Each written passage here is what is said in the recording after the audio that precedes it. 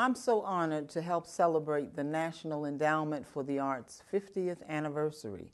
Since its creation in 1965, the NEA has been instrumental in promoting the creative abilities of local communities throughout America.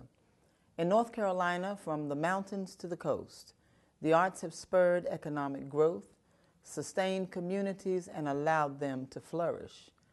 Artists are storytellers who describe lives and activities of ordinary people and communities through dance and music, writing, and visual symbols. Art is a universal language that speaks to people of all backgrounds, all ethnicities, and walks of life. For me, the arts have been both an inspiration and a driving force that, that has consumed my life most of my life. I am a visual artist and an arts educator who understands the value the arts bring to enhance the quality of life in communities and families.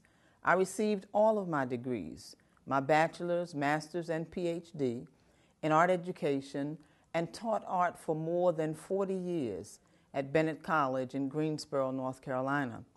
And I've seen firsthand the power of the arts and how the study of the arts enhances teaching and learning. The arts permeate all that we do, and indeed, they make us human. NEA has been a driving force in keeping the arts relevant in the lives of all people. Congratulations, National Endowment for the Arts, for five decades of extraordinary service.